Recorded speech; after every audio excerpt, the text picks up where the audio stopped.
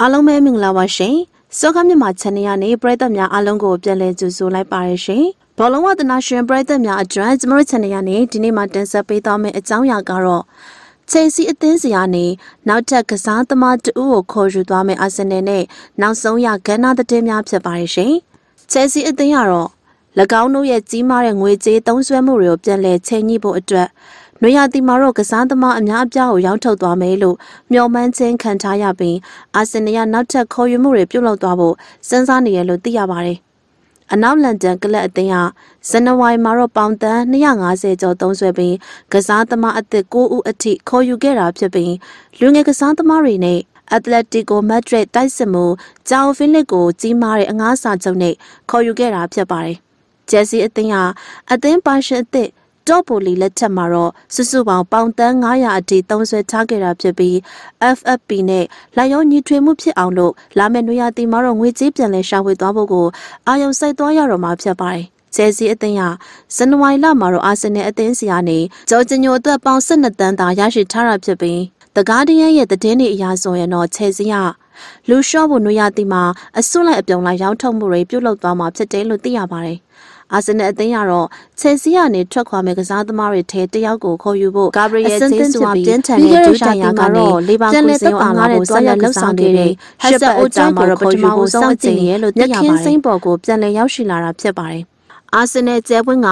Wolf ကိုတော့နှစ်ကိုဂိုးမရှိနဲ့အနိုင်ရခဲ့တဲ့နိုဝင်ဘာ12ရက်နေ့ကပွဲစဉ်ကိုနောက်ဆုံးပါဝင်ကစားပေးခဲ့တာဖြစ်ပြီးလက်ရှိမှာတော့ဘရာဇီးတိုက်စစ်မှုက၎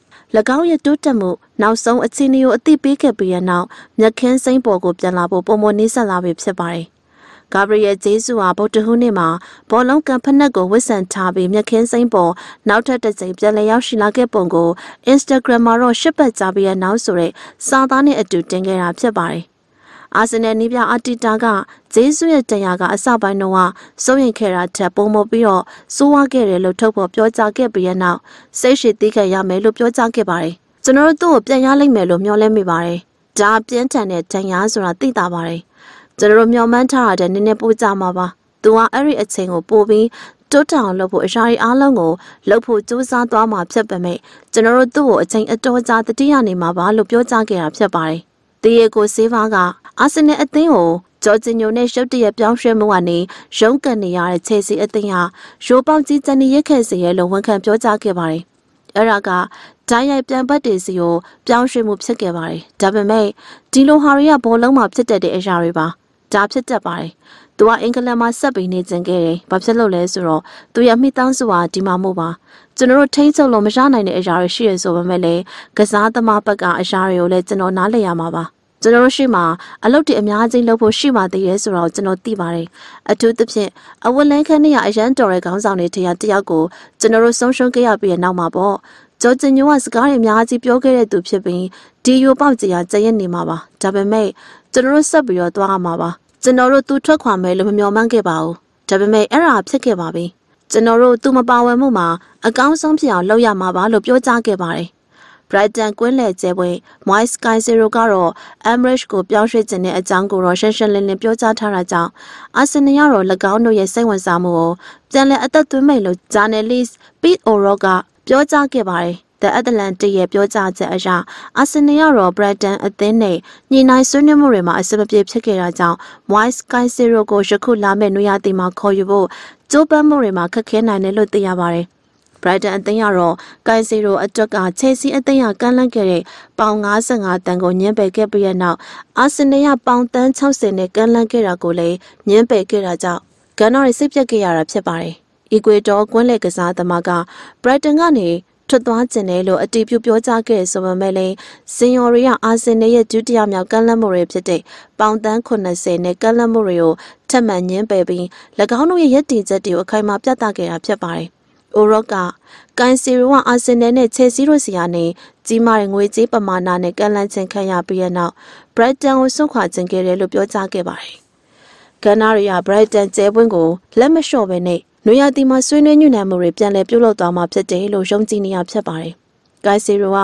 လူမှုကွန်ရက်ပေါ်မှာ Brighton ကိုစွန့်ခွာခြင်းပြီး Chelsea တို့လိုမျိုးထိတ်တန့်အသင်းကိုပြောင်းရွှေ့ရမယ့်အခွင့်အရေးကိုလိုချင်နေရဲဆိုတာဝန်ခံခဲ့တာသိတာပါတယ်။ အာဆင်နယ်ရဲ့စိတ်ဝင်စားမှုကဆက်လက်ရှိနေအောင်မှတေချပြီးဒီအပြောင်းရွှေ့ရာသူတို့တွေနူရတီမှာပြန်လည်အသက်သွင်းဖို့ကြိုးပမ်းမဲ့အရာပါလို့ပြောကြားခဲ့ပါတယ်။လီပါပူးကွင်းလေကစားသမားဟောင်း ဒန်နီမာဖီယာဂျော်ဂျင်ညိုရဲ့အာဆင်နယ်ကိုပြောင်းရွှေ့မှုဟာအလွန်ကောင်းမွန်တဲ့အပြောင်းရွှေ့လှုပ်ဆောင်မှုဖြစ်ပြီးအီတလီကျဲပွင့်ရဂန်နာရီကိုစုဖလာစိန်ခေါ်ဖို့အကူအညီပေးစိမ်မယ်လို့ပြောကြားခဲ့ပါတယ်။အာဆင်နယ်က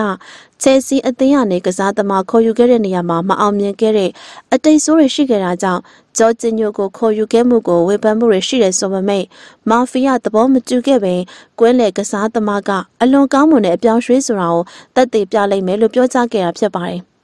ဒါကတော့တကယ်ပါနဲ့တဲ့အပြောင်းရွှေ့ပါပါတီကနည်းနည်းရှုံးကန်ရပြီသူ့ရဲ့ရှားသည့်အဖြစ်ကစားနိုင်မှာမဟုတ်ပါဘူးစီးတီးနဲ့ပွဲမှာသူပထမဦးဆုံးမှာပဲလူစားလက်ခံရပါတယ်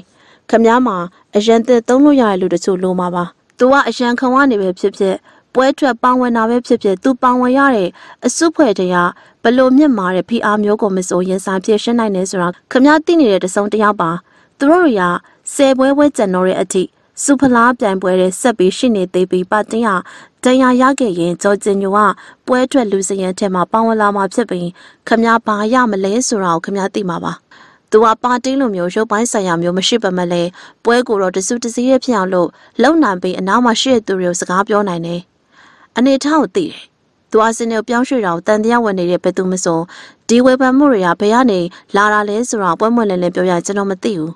ဈေးကိုကြည့်ရင်လည်းဘလောက်လဲ ပေါင်း12တန်းလားဒါအရင်ကောင်းတဲ့အပြောင်းရွှေ့ပါလို့ပြောကြခဲ့တာဖြစ်ပါတယ်ရှင်ပရိသတ်များရှင်ကျမတို့ channel ကိုအားပေးကြတဲ့အတွက်ပရိသတ်များအားလုံးကိုကျေးဇူးတင်ပါတယ်ရှင်